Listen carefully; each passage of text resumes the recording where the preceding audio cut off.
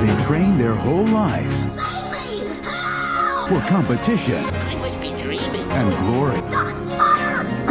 For the thrill of victory I'm so unimportant. and the agony of the feet. But on March 15th, their greatest challenge will be saving mankind. This shop looked a lot smaller from the outside.